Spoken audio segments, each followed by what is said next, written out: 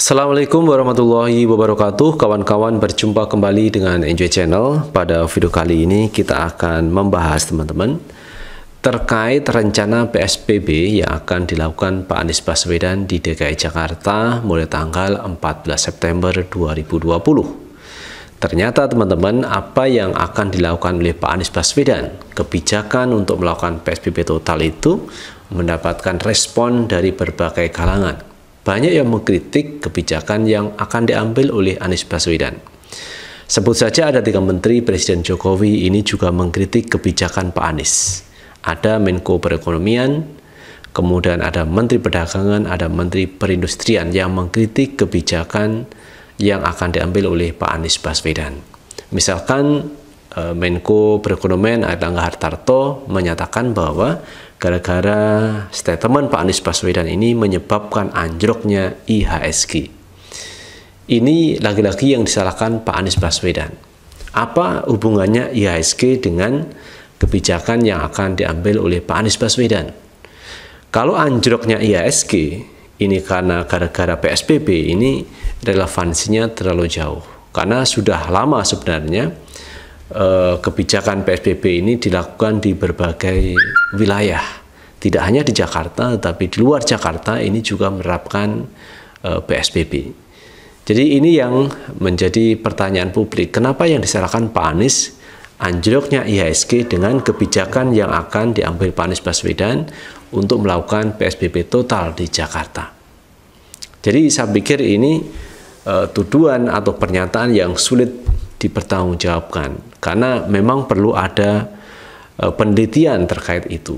Jadi jangan hanya asumsi kemudian ke semua kesalahan itu diarahkan kepada Pak Anies Baswedan. Nah teman-teman itu salah satu menteri yang mengkritik kebijakan Pak Anies Baswedan terkait rencana PSBB total di Jakarta. Kemarin teman-teman di eh, media sosial juga saya baca ternyata ada juga gubernur Ridwan Kamil yaitu Gubernur Jawa Barat ini juga mengkritik kebijakan Pak Anies Baswedan. Ini sesama gubernur e, mengkritik, padahal wilayahnya berbeda. Ada pernyataan dari Ridwan Kamil bahwa gara-gara statement Anies Baswedan ini menyebabkan lari 300 triliun. Ini apa hubungannya dengan Pak Anies Baswedan dengan e, larinya 300 triliun atau investasi 300 triliun di Indonesia? Ini lagi-lagi saya pikir pernyataan yang perlu penelitian cukup ketat terkait eh, larinya 300 triliun dari Indonesia. Ada juga teman-teman dari Bima Arya, Wali Kota Bogor, ini juga mengkritik kebijakan yang diambil oleh Pak Anies Baswedan. Katanya eh, apa yang dilakukan oleh Pak Anies Baswedan ini adalah keputusan yang salah dengan berbagai alasan. Jadi seolah-olah Anies ini adalah tempatnya salah. Padahal Anies ini adalah gubernur DKI Jakarta. Kemudian teman-teman ada juga pernyataan yang disampaikan oleh Ruth Sitompul gara-gara Anies Baswedan ini beberapa negara tidak menerima warga negara Indonesia. Ada berapa 59 negara ini tidak menerima WNI. Karena memang teman-teman eh, pandemi di Indonesia ini cukup banyak orang yang terkonfirmasi cukup banyak sehingga negara lain ini hati-hati menerima warga negara Indonesia. Karena itu mereka melockdown, tidak menerima warga negara Indonesia. Nah teman-teman untuk lebih jelasnya ini saya baca dari jpnn.com teman-teman. Pengamat kebijakan publik Agus Subagio heran dengan ucapan beberapa menteri kabinet Kerja 2 yang terkesan menyudutkan Gubernur DKI Jakarta Anies Baswedan setelah berencana mengetatkan pembatasan sosial berskala besar PSBB. Seharusnya, kata dia, Menteri era Presiden Jokowi itu bisa mendukung kebijakan Anies di Jakarta. Toh kata dia Anies tidak sembarangan ketika ingin mengetatkan PSBB. Jadi itu teman-teman pernyataan pengamat bahwa Anies diserang oleh beberapa pihak termasuk dari kabinet Presiden Jokowi yang seharusnya kabinet kerja Presiden Jokowi jilid 2 itu harusnya mendukung kebijakan yang akan diambil oleh Pak Anies Baswedan.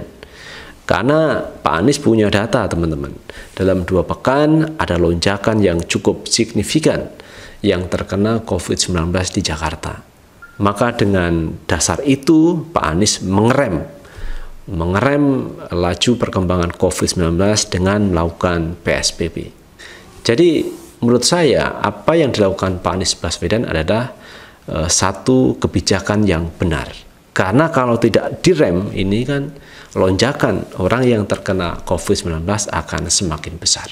Maka langkah PSBB total ini langkah yang tepat menurut saya. Sebelum muncul pengetatan PSBB, lebih dahulu keluar ucapan Presiden Jokowi yang menginginkan kesehatan lebih utama dalam penanganan pandemi COVID-19.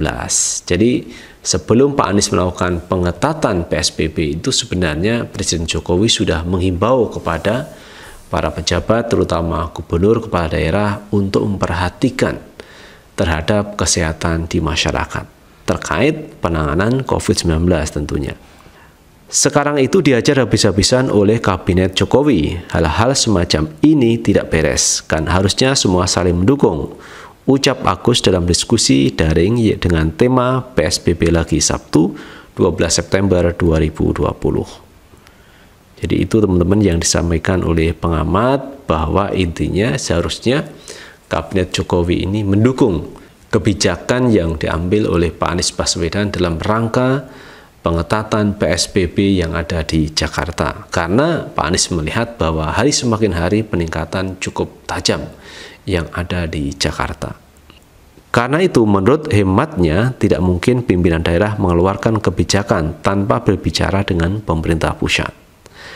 Artinya apa yang dilakukan oleh Pak Anies Baswedan ini kan sudah koordinasi dengan pemerintah pusat. Jadi tidak ujuk-ujuk melakukan pengereman, melakukan PSBB tanpa koordinasi. Saya yakin beliau dipanggil presiden, saya tidak tahu, tetapi saya yakin sebab tidak mungkin misalnya wali kota Bogor memutuskan sendiri tanpa berkonsultasi dengan pemerintah pusat dalam hal ini presiden dan gugus tugas sesuatu hal yang tidak mungkin ungkapnya. Jadi menurut saya itu keputusan presiden tapi maunya melalui gubernur duganya. Itu teman-teman menurut pengamat kebijakan bahwa apa yang dilakukan oleh Pak Anies Baswedan tentu sudah koordinasi dengan pemerintah pusat. Apalagi sebelumnya Presiden Jokowi juga menghimbau kepada kepala daerah untuk concern, untuk memperhatikan kesehatan masyarakat terkait penanganan COVID-19. Itu teman-teman menurut pengamat. Sekarang ini ada kritikan juga yang disampaikan oleh PDIP teman-teman. Ini teman-teman ada berita dari Detik News, PDIP kritik Anies soal PSBB, progres belum tampak tapi tiba-tiba ngerem. Jadi kemajuan belum nampak tapi tiba-tiba ngerem. Nah ini kalau tidak direm lajunya akan semakin cepat, makanya perlu direm, rem darurat. Ibaratnya teman-teman, ini ada kereta api, kereta api yang di sana ada masalah di depan, misalkan ada kecelakaan atau relnya patah, maka otomatis masinis ini mengerem melaju dari kereta api itu karena berbahaya kalau diteruskan. Nah, mungkin itu kira-kira logika yang e, dipakai oleh Pak Anies Baswedan. Ini kalau tidak direm ini berbahaya lajunya ini. Makanya pengereman ini segera dilakukan oleh Pak Anies Baswedan. Tetapi ini dikritik oleh PDIP, teman-teman. Kita lihat beritanya. PDIP menyoroti keputusan PSBB secara ketat yang dilakukan oleh Pemprov DKI.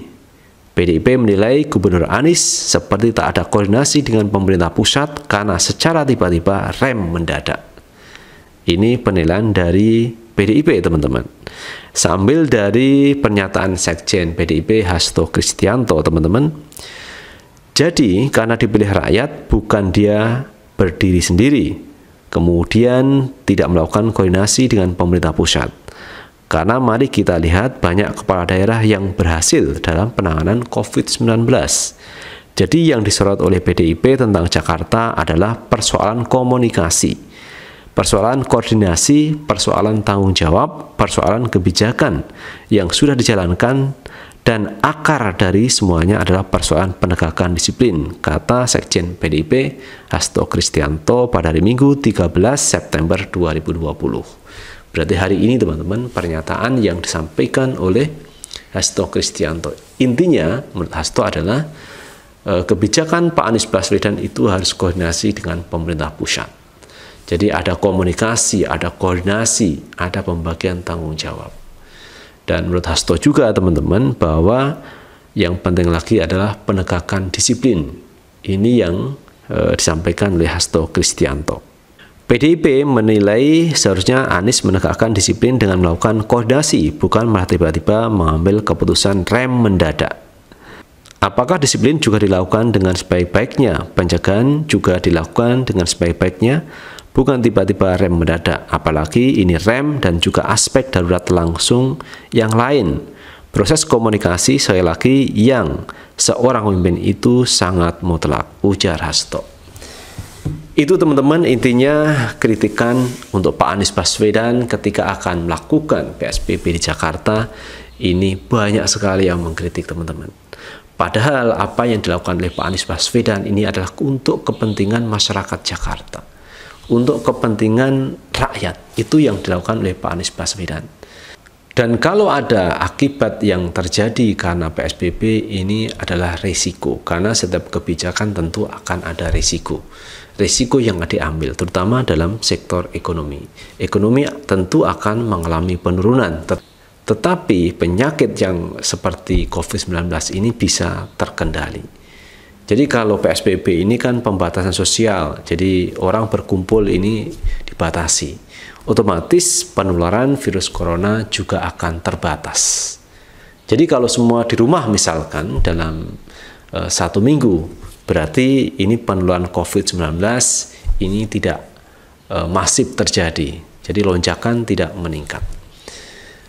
Itu teman-teman e, terkait kebijakan Pak Anies Baswedan. Intinya tentu masyarakat banyak yang mendukung kebijakan Pak Anies dalam rangka untuk mengerem lajunya perkembangan COVID-19 yang ada di Jakarta. Nah, bagaimana menurut pendapat teman-teman dengan apa yang dilakukan oleh Pak Anies Baswedan? E, melakukan PSBB total di Jakarta. Silahkan tulis di kolom komentar, karena komentar teman-teman akan sangat membantu kepada yang lain. Dan terakhir teman-teman jangan lupa tetap like, subscribe, share, dan komen di channel ini agar kita bisa membangun channel ini menjadi lebih baik lagi. Sukses selalu. Assalamualaikum warahmatullahi wabarakatuh.